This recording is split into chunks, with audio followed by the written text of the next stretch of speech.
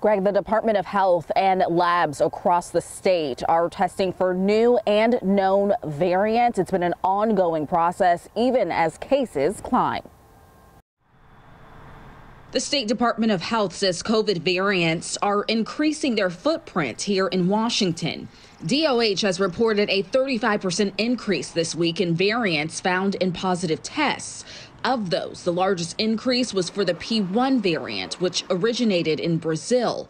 While testing, scientists are also looking out for any local strains that could pose problems down the line. Every time the virus evolves, it's sort of, you know, it's going to lay down a new mutation here or there. Dr. Alex Greninger with UW Medicine says eyes may be on what officials are calling a fourth wave, but we should also focus on our strongest weapon. I mean, the bigger the bigger point is that it's not about the variants. It's about us. Dr. Greninger says it's still early enough to take these variants head on. All of the vaccines available now will protect people from what's currently in front of us. These vaccines that we have are so whiz bang they generate the most incredible antibody response. Are we in a race against the variants? Always.